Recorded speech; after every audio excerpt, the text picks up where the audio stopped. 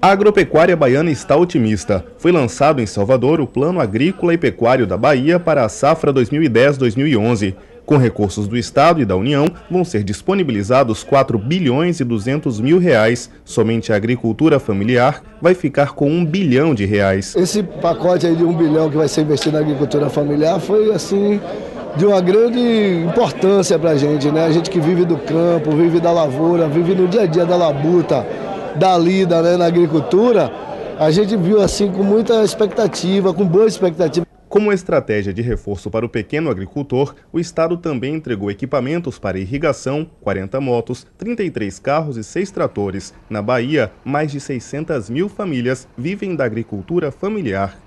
Esse ano, a safra 2010-2011 está sendo lançada com um valor recorde, um volume de recursos disponibilizados pelos agentes financeiros recorde para a Bahia. Isso é importante porque também estamos tendo esse ano uma, um recorde de safra, 16,5% a mais do que o ano passado. Esse ano a safra está fechando em número de 6,5 milhões de toneladas de grãos, comparados com 5,6 milhões do ano passado. É um crescimento significativo de 16,5%, que demonstra a importância que é dada pelo governo do Estado a um setor tão importante como a agropecuária do Estado.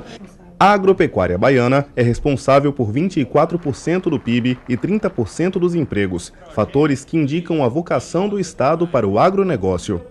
Estamos atendendo de A a Z, da agricultura familiar ao agronegócio. São planos diferenciados, cada um para um tipo ou de agricultura ou de pecuária, seja pelo tamanho, seja pela especificidade é, do negócio. E eu tenho certeza que toda família da agropecuária na Bahia, repito, do agricultor familiar ao empresário do agronegócio, sabe que hoje a gente tem uma política de sustentação da agropecuária muito importante, não é por outro motivo que ela vem crescendo, gerando emprego e aumentando a sua participação no nosso PIB.